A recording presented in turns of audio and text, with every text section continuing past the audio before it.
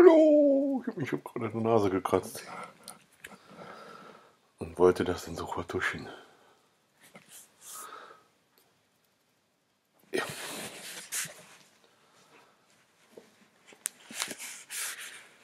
Eisekalt ist es draußen. Nur so zur Information. Aber eisekalt ist mir egal, because I have lecker warm in here.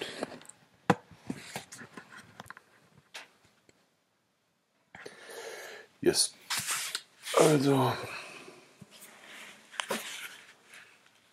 wollen wir mal gucken, nachdem die ihre Strophen abgehaspelt haben.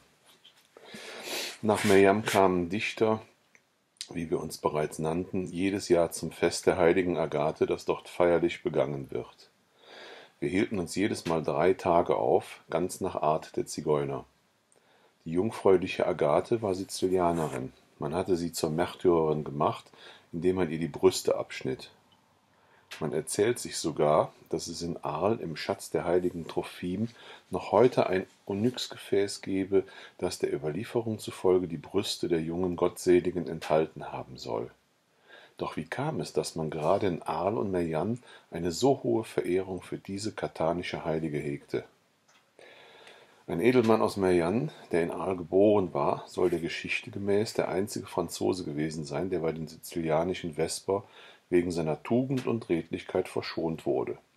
Kann es nicht sein, dass er und seine Nachkommen uns den Kultus dieser kathanischen Heiligen übermittelt haben?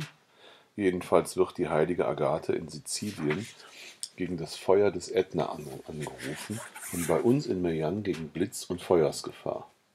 In den Augen der jungen Mädchen von Meillan ist es eine große Ehre, vor der Vermählung drei Jahre lang Priorinnen also gewissermaßen Priesterin des Altars der heiligen Agathe zu sein. Am Vorabend des Festes finden sich die jungen Paare und die ganze Jugend mit ihren Musikern vor der Kirche ein und bringen der heiligen Agathe ein Ständchen. Auch wir schlossen uns den jungen Leuten an, um hinter den Spielleuten her beim Licht der umherirrenden Stocklaternen und beim Knattern der Schwärmer, Frösche und Raketen der Schutzheiligen von Meillan unsere Huldigung darzubringen.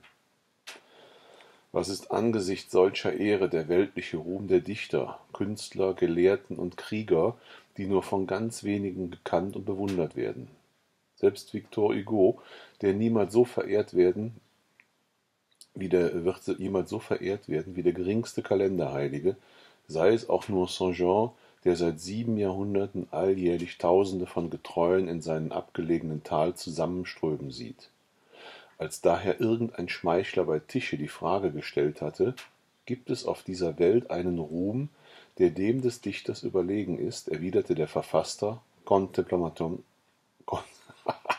Contem, Contemplations, ja, den eines Heiligen. Am Agatentage gingen wir auf den Ball, um Freund Mathieu mit meinem schönen Cousinen Gango, Viette und Lali tanzen zu sehen. Wir zogen auf den Anger hinaus um dicht bei der Mühle der Eröffnung der Ringkämpfe beizuwohnen. Unter Trommelklang erging Ruf, und wenn die Kämpfe der Männer und Jünglinge im Gang waren, so kreiste der ehemalige Ringer Jeset, der mit der Oberaufsicht betraut war, um die Kämpfer, die sich nackt und mit gestreckten Kniekehlen gegeneinander stemmten, und wiederholte dann und wann in strengem Ton die alte Vorschrift Fleischwunden beizubringen ist untersagt.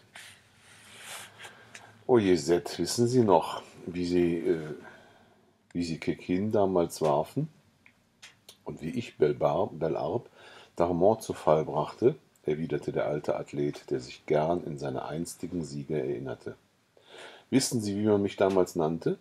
Den Petit Mayonnaise. Mayonnaise, ja. Oder auch schlankweg den Biegsamen.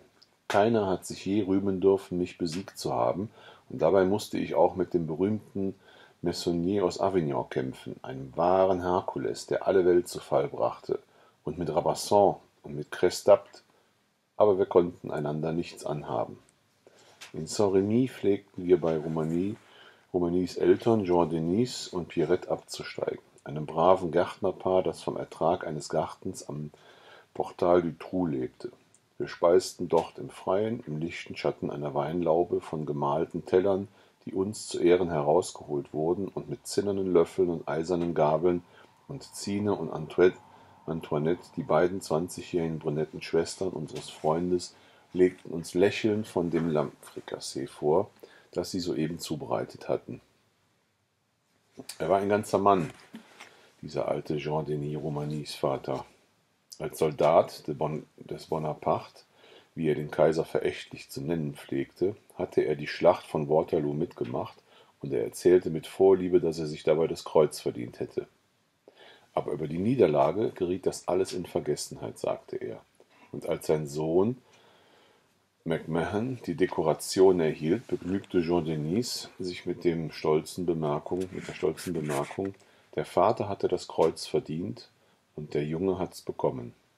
In Avignon verkehrten wir in dem Hause Obernels in der Saint-Marc-Straße, die heute den Namen des berühmten Philippe trägt.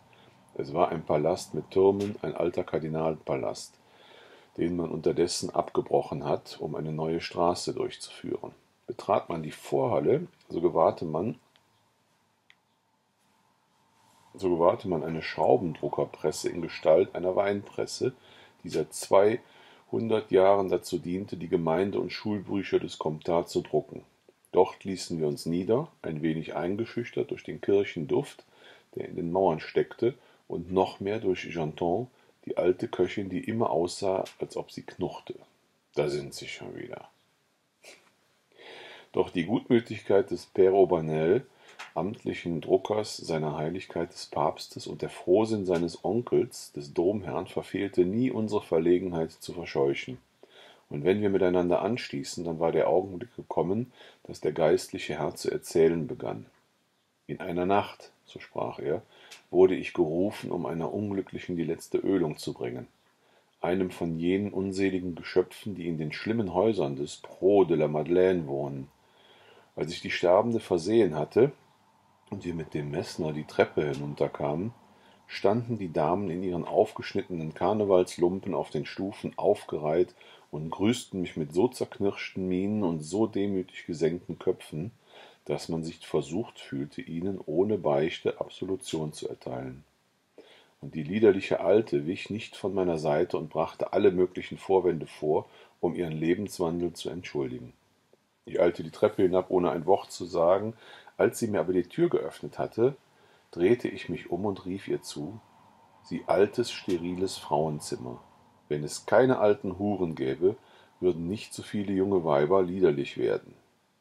Auch bei Brunet und bei Mathieu feierten wir unsere Gelage. Aber die glückseligste Stätte, die, Präsident, die prädestinierte Stätte, war in der Folge Font-Séguigne, ein Landsitz in der Nähe des Dorfes Gardagne, wohin uns die Familie Girard häufig einlud. Da waren die Mutter, eine würdige, liebenswürdige Dame, die älteste, der älteste Sohn Paul, der in Avignon Notar war und eine wahre Leidenschaft für den heiteren Minnesang hatte. Der jüngere Sohn Jules, der von der Erneuerung der Welt durch das Wirken des, der weißen Büßer träumte, und schließlich zwei reizende, artige junge Damen, Clarisse und Josephine.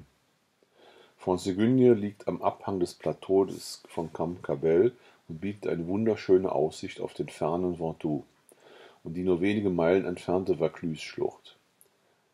Der Besitz heißt nach dem Quell, der am Fuße des Kastells entlang fließt. Eine anmutige Gruppe von Eichen, Akazien und Platanen schützt ihn vom Wind und vor Sonnenhitze.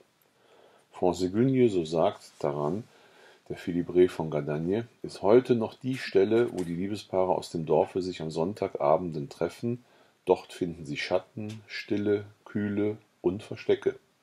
Es gibt Fischweiher mit efeu umsponnenen Steinbänken, Pfade, die in Schlangenwindungen durch das Dickicht hinauf und hinabsteigen. Es gibt eine schöne Aussicht, es gibt Vogelgesang, Laubgeflüster, Quellengemurmel. Überall kann man sich auf dem Rasen niederlassen und von der Liebe träumen, wenn man allein ist, und lieben, wenn man zu zweien ist. Dorthin kamen wir wie ein Volk Rebhühner, um uns zu ergötzen. Romani, Guérin, Mathieu, Brunet, Tarin, Crosillard, ich und andere mehr. Vor allem aber Aubanel, der unter dem Zauber von Sanis Augen stand.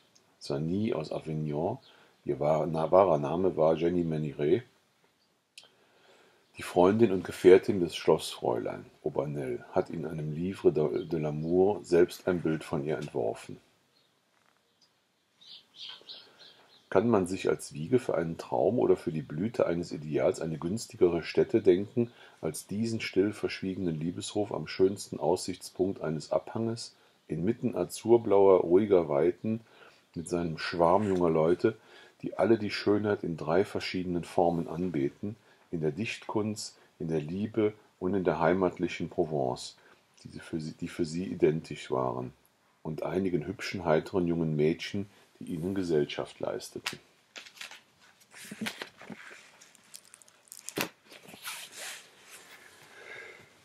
Jo, dann bis zum nächsten Mal.